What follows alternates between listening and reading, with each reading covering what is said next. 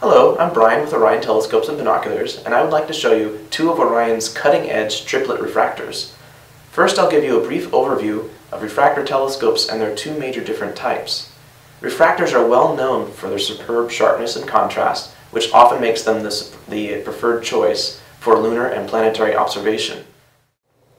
Orion's cutting-edge apochromatic triplet refractors are offered in two different models, the 80mm f6, known as the ED80 TCF, and the 102mm f7, known as the ED102 TCF. ED stands for extra low dispersion, which is what we want to have excellent color correction. The number, in this case the 80 or the 102, refers to the diameter of the objective in millimeters. This is an 80 millimeter telescope. This is a 102 millimeter telescope.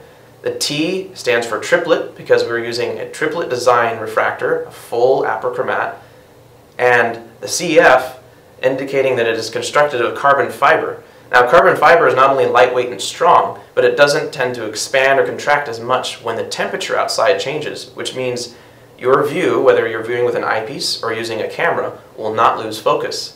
So it's a big advantage. Not only does it look good, it saves weight, but it also prevents unwanted focus shift when the temperature changes as well.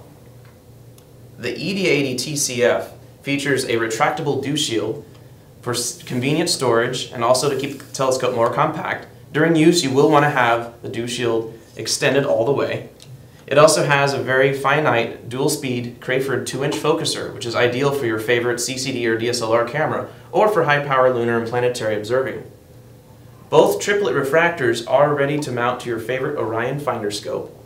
The larger 102mm features a very extra large 3-inch Crayford focuser, the first for Orion to support larger format CCD or DSLR cameras. Thank you for taking a moment to check out our high-end triplet refractors. Happy stargazing!